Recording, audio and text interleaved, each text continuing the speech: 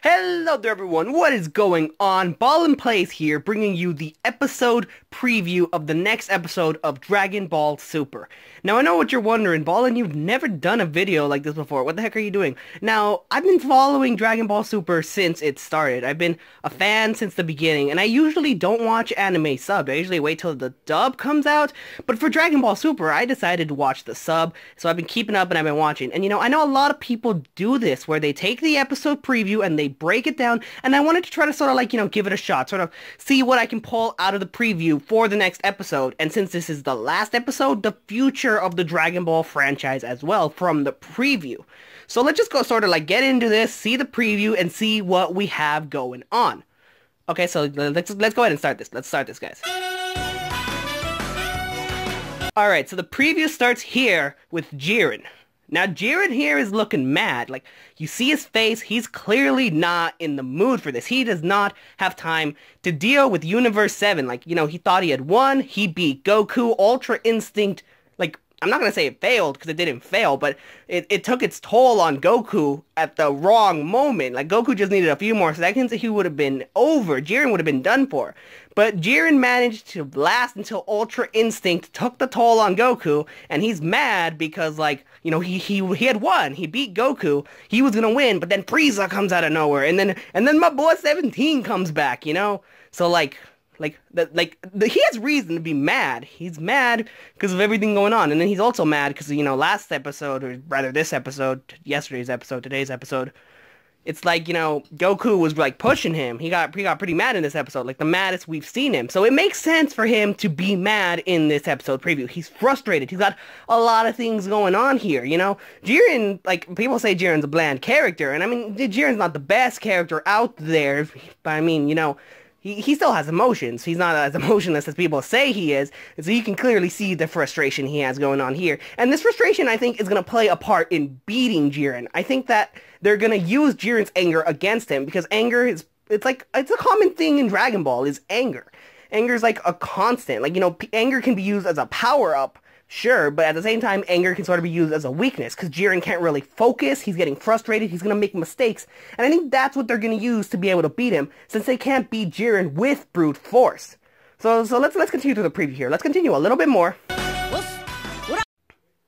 So after that shot of angry Jiren, we get to see Android 17 pushing Jiren back with his energy blasts. Now I know everyone thought that 17 was done for. Everyone thought he blew himself up and he was out but I guess he's not. Like, I mean, the episode showed him alive and well, so, you know, he's still in this, he's still kicking, he's still fighting for Universe 7, and he's proven once again why he's the MVP of the tournament. Like, I mean, he doesn't have the most eliminations, that award doesn't go to him, but you don't need most KOs to be MVP. You gotta put in the most work to be MVP, and that's what 17 has done, you know? He's proven time and time again that he has contributed the most. He's saved the most people from elimination, he's taken down a bunch of Universe He's done his fair share of work. His barrier has come in clutch over and over again. So, you know, he's the MVP without a doubt. And this episode preview continues to showcase that. It shows how he's using his energy to push Jiren back. Because 17's a smart guy. He knows he can't beat Jiren. 17 cannot beat Jiren. But what he can do is he can beat the clock. There's only about 30 seconds left in the Tournament of Power. So if he can beat the clock, if he can push Jiren back enough, if he can prevent himself and Frieza and Goku from being eliminated, they win through numbers. 17 is playing the mind game. He's being a smart guy. He knows how the tournament works and he's using that to his advantage. Jiren might not be able to be beaten with brute strength at this point because Mastered Ultra Instinct didn't have enough to go through.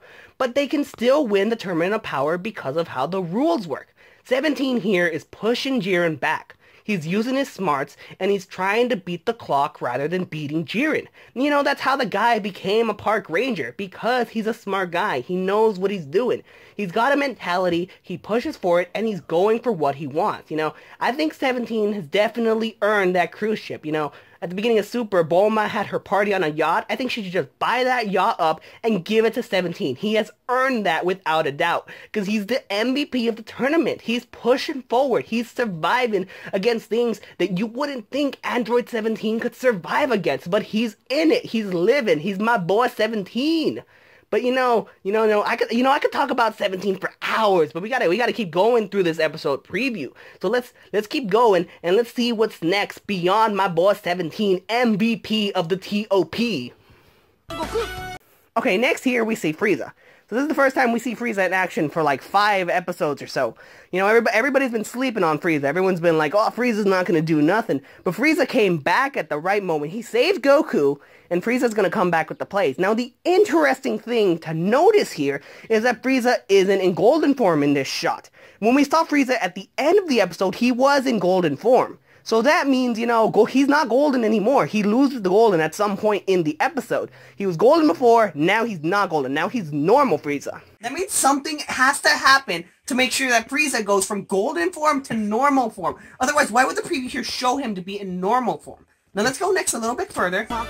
And then look, he's charging straight into Jiren. So this means Frieza's going head on. Now, if you look carefully at the attack that Frieza's doing, it is very reminiscent of the attack that Frieza did at the end of the Namek Saga against Goku before he got cut in half. So therefore, I think this is full power Frieza, something we haven't seen in a long time. I think Frieza isn't able to maintain his golden form anymore after going against Jiren for so long, so therefore he has to use full power Frieza. Now, I wonder if full power Frieza will be enough to take on Jiren, because if you think about it, Golden Frieza is equal to Super Saiyan Blue, and Jiren is miles above Super Saiyan Blue at this point, but Jiren's also been weakened by Mastered Ultra Instinct Goku. So maybe, you know, he's kind of on a lowered playing field. Plus, his frustration is playing into the game. He has a lot of anger going on, so you don't really know what's going on Jiren's power. You don't know what game he's playing. And, you know, there's only 30 seconds left. Frieza doesn't, Frieza doesn't have to beat him with full power. He just sort of has to, like, you know, weaken him, take him down, last 30 seconds, and get that wish. Okay, let's let's continue through the preview. Let's see what's next. Okay, okay, so there, a quick explosion there. That's probably the aftermath of Frieza charging in. You know, maybe he's trying to eliminate Jiren like that. Get him off of the ring. We don't know. Let's see. Let's see what we have to come. Okay, so that was that there was just 17. You know, he's a little tired. We all thought 17 blew himself up, but I guess not, my bro. I guess I guess 17 still in this. You know, 17. He's just charging in. MVP of the tournament right there, my man. 17. You know he's going in, coming in clutch. And then here we have Jiren going against those little energy explosion blasts. I think I think that was 17's doing. That looked like 17's handiwork right there. It looks very reminiscent to what 17's been doing earlier in the tournament. You know what I'm saying? Okay, let's keep let's keep going. Let's keep going. And then there's the barrier, okay? 17 building up the barrier to protect against Jiren. That looks to be Jiren's final desperate plot against Universe 7. I think Jiren there is going to be able to take them down, but he won't take them down, obviously, because they're the protagonist. So what I see what I see happening, what I predict happening right here, right here, this scene, right here, what I predict is that Jiren will use the rest of his energy, the rest of his ki, to launch this final devastating blow. And 17 will, of course, put up the barrier. Now, we know 17's barrier can't keep up with Jiren. We know that as a fact because we saw that in previous episodes, that his barrier was not enough to prevent Jiren's attack. So what is the game here? Why is he trying a barrier again if that didn't work in the past? Why is he putting that up if he knows Jiren's attack goes right through it? Well, I think, I think he's trying to weaken Jiren's blast so that Frieza can survive. I think he's trying to protect Frieza because he knows Frieza is the last plan. Frieza's the last person left that can compete with Jiren. Because Frieza's on another level than 17. I mean, uh, 17 is still the MVP. Don't get me wrong. 17's still, like, he's still living. He's still in it. But comparing 17 to Frieza, that's just, you, you can't do that. That's just not something you do. Okay, let, us see, let's see, let's see, let's, let's see the Frieza. They're, they're, see, they're both working together to keep up the barrier, so I think that in and of itself is going to be able to make it strong enough to keep up with Frieza, or keep up with Jiren. And now, Frieza, back to Frieza here. You'll see he's in golden form again. So is this before he goes full power or after? I'm predicting, I'm predicting this is before. I predict that Jiren uses his full energy on this attack. And the attack hits them. 17 puts up the barrier, but Frieza helps him keep the barrier up, and the attack is enough to get Frieza out of golden form, but not enough to eliminate him. And then that's when he goes full power, as previously seen. That's the flow of events I can call it, sort of see happening based on this. This is going to be the last episode, so they only have 20 minutes or so to wrap up the tournament. So there's not going to be that much fighting. It's going to be pretty quick, in and done. Frieza getting the job done with 17. No, no, no, let's, let's keep going. We still got a good bit of amount of the preview left. The barrier broke, like I said. Like I predicted, the barrier broke, so it's not enough to hold Jiren back. But it is enough to get Jiren to waste his energy, and that's what we need to do. We need to waste Jiren's energy so that that way Frieza can go in full power and just beat the heck out of him, you know? Everyone's been sleeping on my boy Frieza, but Frieza is gonna take them down. He's not the best villain in all Dragon Ball for nothing. Now, now these blue lights here, I have no idea what these could be. Like, like I mean, the rest of the preview, I got a pretty good idea what's going on, but what is this? Like, like, is, it, is this the end of the tournament, or what is going on? I don't even know. Now, now I know, I know here, I know here those blue lights turn into attacks. But I think that that's just an editing trick. I don't think that they're simply attacks, because if they were just attacks, why do they look like something we've never seen before? We've never seen anything of that scale, of that size. And also, also going to the attack, moving on from the blue lights into the attacks. If we go towards the attack to Jiren, you see that Jiren is pretty weakened, you know? He's not, he doesn't have his incredible ultimate aura around him anymore, and these simple blasts are blowing him away. So I definitely think he wastes all of his energy on the attack that we see blocked by the barrier earlier.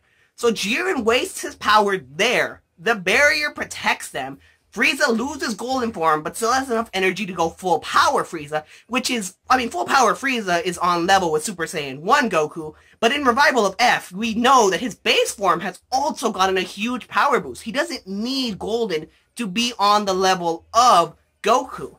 I mean, that helps him compete with Goku's transformations, but his base form also received a lot of training from the six month training. Plus all of the time he spent in hell, his base form is still really strong. So you have to wonder, what does that do to his 100% form? If his base form is here and golden is here, I'd imagine 100% would be somewhere like in the middle, you know, right under golden, not the same amount of energy. And then the problem of 100% again is controlling his ki, but he has perfect ki control now because of his time in hell. So I have to wonder if 100% is stronger than it was before.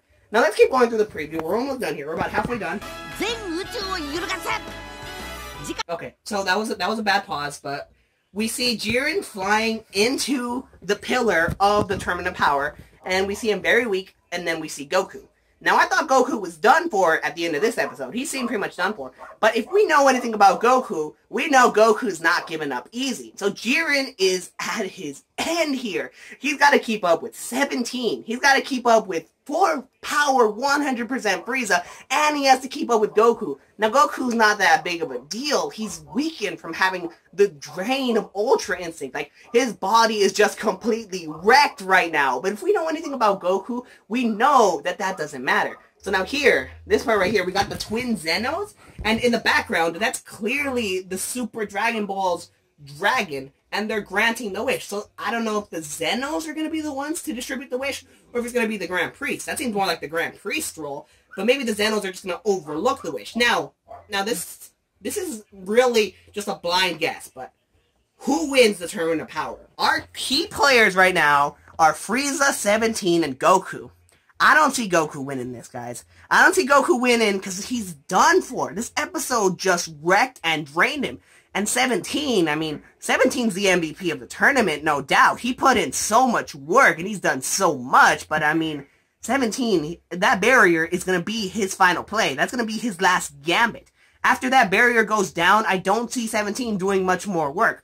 And that leaves Frieza. Now I know what you're thinking. Well, you're just a Frieza fanboy. Nah, nah, nah, nah, nah, nah. I got the facts to back me up here. Frieza has been shown to be plotting something from the beginning of the tournament.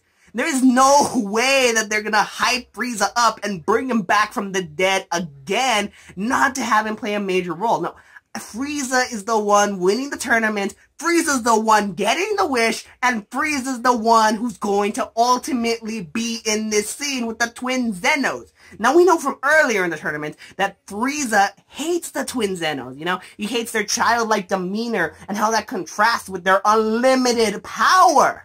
Frieza wants to be atop the Zenos, so I wonder if his wish has anything to do with that. Now we're almost done with the preview here. There's the Grand Priest. Like I said, the Grand Priest is probably the one giving the wish. Now look at that smile. Look at right there.